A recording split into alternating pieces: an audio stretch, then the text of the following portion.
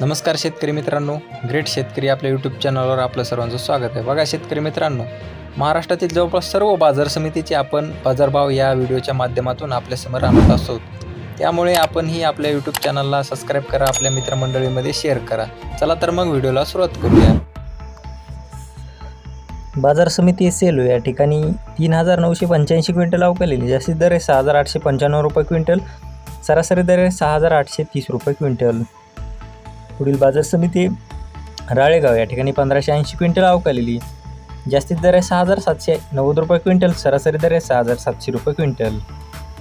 पुढील बाजार समिती भद्रावती या ठिकाणी दोनशे एकोणीस क्विंटल अवकालेली जास्तीत दर आहे सहा हजार पाचशे पन्नास रुपये क्विंटल सरासरी दर आहे सहा हजार चारशे पंच्याहत्तर रुपये क्विंटल.